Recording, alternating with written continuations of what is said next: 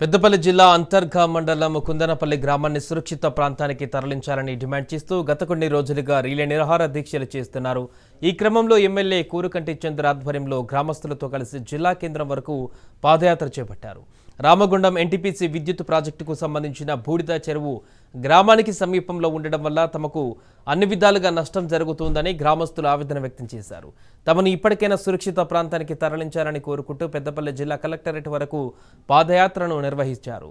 యాజమాన్య నిర్లక్ష్యం వహిస్తే పరిణామాలు తీవ్రంగా ఉంటాయని ఎమ్మెల్యే కోరుకంటి చంద్ర హెచ్చరించారు. గ్రామస్తులకు న్యాయం జరిగే వరకు పోరాటం ఆపేది లేదని స్పష్టం చేశారు. పంచాయతీ పరిధిలో ఎన్టీపీసీ బూడిద చెరువుకు సంబంధించి ఇక్కడ రెండు వందల ఎనభై ఆరు ఇళ్ళకు అనేక అవస్థలు పడుతూ అనేక ఆరోగ్య అనారోగ్యాలకు గురి అవుతూ ఉన్నారు. చాలామంది చనిపోవడం కూడా జరిగింది.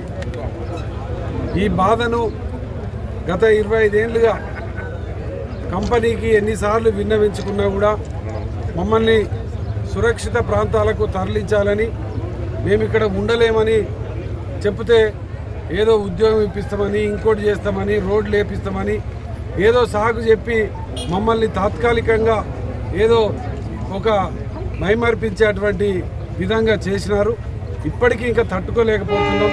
మేమే కాకుండా మా పిల్లలు రేపు భవిష్యత్తు తరాల పిల్లలు కూడా ఇక్కడ ఇండ్లల్లో ఉండేటువంటి పరిస్థితి లేదు కాబట్టి మమ్మల్ని సురక్షిత ప్రాంతానికి తరలించాలని ఎన్టీపీసీ యాజమాన్యం మీద ఇలా ఇక్కడ కుందనపల్లికి సంబంధించినటువంటి మహిళా సోదరుమణులు గ్రామస్తులందరూ కూడా ఇక్కడ నిరాహార దీక్ష చేయడం జరిగింది.